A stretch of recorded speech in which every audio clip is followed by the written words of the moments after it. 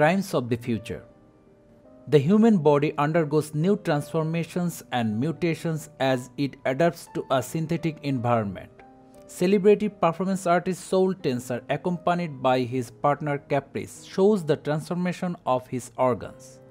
Meanwhile, a mysterious group attempt to use Saul's fame to shed light on the next stage of human evolution.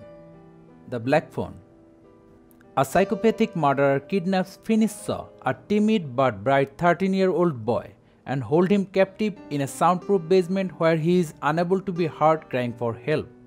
Finney finds out that he is able to hear the voices of the killer's prior victims. When a phone that was previously disconnected and mounted on the wall begins to ring, they are adamant about protecting Finney from the same fate that befell them and do everything in their power to achieve this goal. Nope.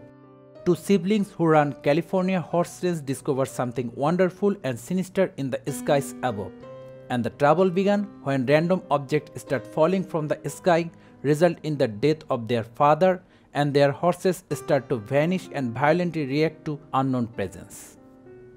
Barbarian Late at night, a young woman in the town for a job interview arrives at her rented home to discover that it has been double booked and a strange man already residing there. She decided to spend the night despite her better judgment only to learn that she has much more to fear than the other guest.